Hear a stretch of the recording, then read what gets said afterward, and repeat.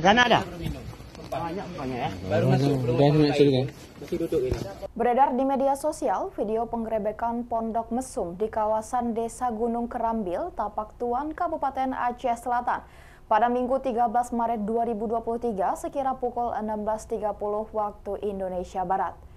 Pada video singkat, unggahan pemilik akun Instagram @andreli underscore 48 menunjukkan sejumlah petugas gabungan dari Satpol PP dan Wilayatul Hisbah atau WH dibantu oleh unsur dari polisi militer dan Polres Aceh Selatan tengah mendatangi Pondok Mesum berkedok warung. Di salah satu bilik yang begitu sempit dan tertutup itu, petugas mendapati sepasang muda-mudi yang mengaku baru saja sampai dan belum melakukan hal apa pun. Keduanya tampak ketakutan dan berusaha mengelak, namun petugas dengan cepat meminta kartu identitasnya untuk diproses.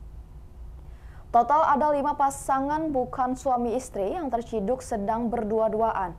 Dikutip dari Tribun Aceh, pada penggerebekan pondok yang dibuat untuk melakukan perbuatan maksiat itu, petugas juga menemukan barang bukti berupa kondom bekas pakai dan penutup pondok.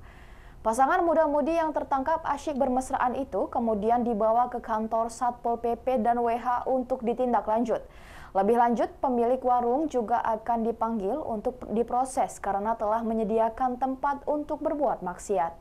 Ikuti terus berita menarik lainnya, jangan lupa like dan share seluruh akun Tribun Medan.